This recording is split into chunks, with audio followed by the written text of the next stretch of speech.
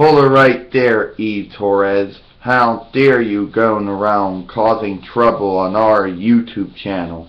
You should be ashamed of yourself and the way you act like.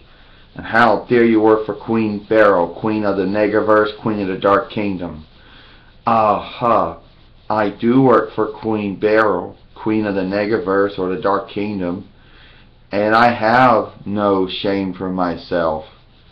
I am a former I'm a former three-time WWE Divas Heavyweight Champion, the former Assistant General Manager of Raw, and also the former Assistant General Manager of SmackDown at one point too.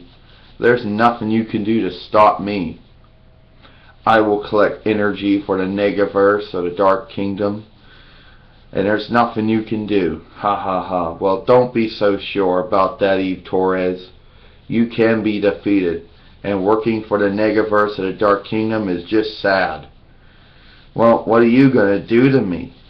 Eve Torres said, you really can't do nothing to stop me. You know, what's it? Mm. Uh, uh, uh, uh, uh, uh, uh, uh. Uh, uh, uh, uh, uh, uh. Ha ha ha ha. Uh, uh, uh, uh. Uh, uh, uh, uh. Uh, uh, uh, uh, uh. Yeah. so you don't make me put my finishing remover on you. Yeah, finishing remover Eve Torres, that's a real joke. Oh.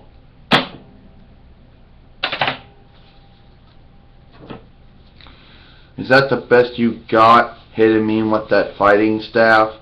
No, I can give you something else too. Tuxedo Smoking Bomber. Oh.